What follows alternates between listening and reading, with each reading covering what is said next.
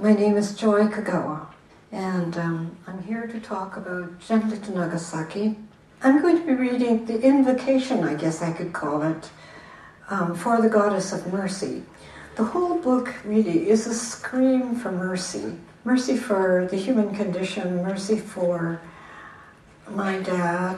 It's an effort to go through hell, through the hell that one needs to suppress in order to survive. A particular personal hell and a more public hell.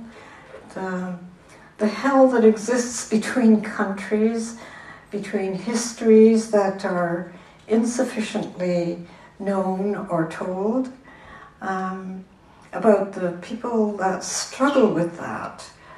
The book may not be so much about all these things, but after it's been written, it comes to me as a project that needs to be followed through with the kind of issues that go on for generations um, without let up. People get identified and stuck in identities. So, in order to survive, don't suppress the truth. Enter it, embrace it, acknowledge it.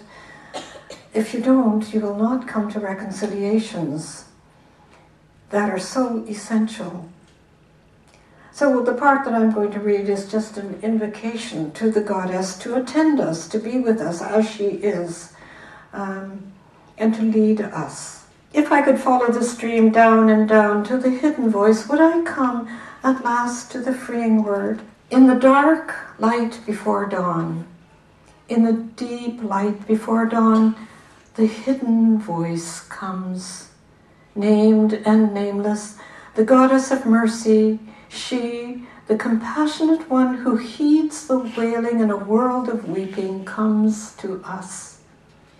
She dances the transition between moon and morning, robed in the whiteness of clouds.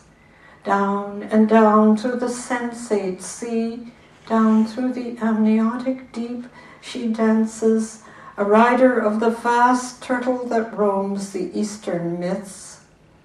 We hear her in the breath surrounding this blue green planet, her singing as sunlight in the new day rising. In the first call of the first creatures, in the orchestrators of waking, we hear her. I am with you, she sings.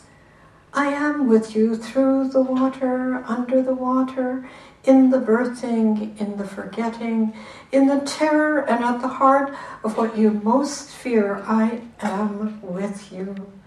Through the long, dark night of every absence, I am with you. Therefore, fear not.